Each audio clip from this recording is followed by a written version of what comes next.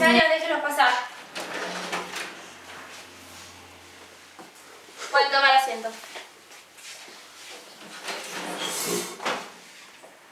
¿Quién fue? Yo no. Yo tampoco. Yo menos. Y el cuarto portugués sigue muerto.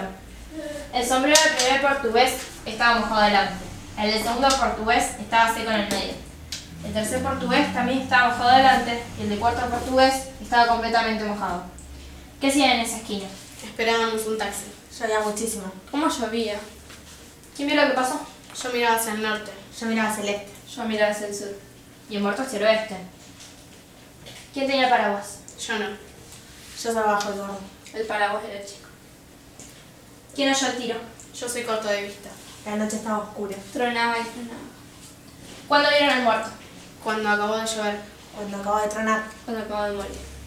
¿Qué hicieron entonces? Yo me saqué el sombrero. Yo me descubrí. Mis homenajes al muerto. ¿Entonces? ¿Qué hicieron?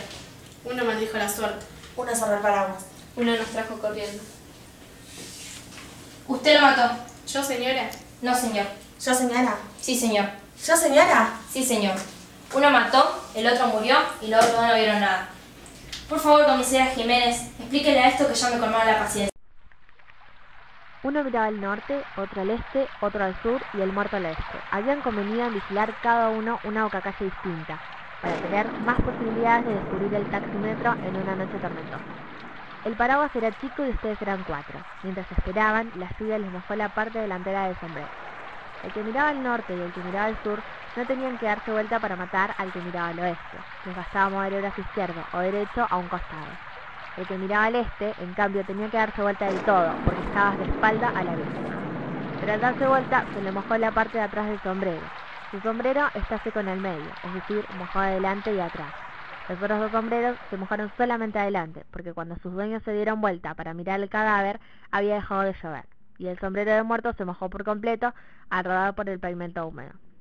El asesino utilizó un arma de muy poco calibre, un matagatos de esos con que juegan los chicos o que llevan algunas mujeres en sus carteras. La detonación se confundió con los truenos.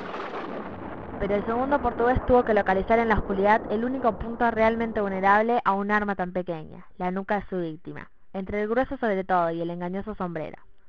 En estos pocos segundos, el fuerte chaparrón le empapó la parte posterior del sombrero. El suyo es el único que presenta esa particularidad, por lo tanto, es el culpable. Ustedes dos se pueden retirar. Usted me tendrá que acompañar.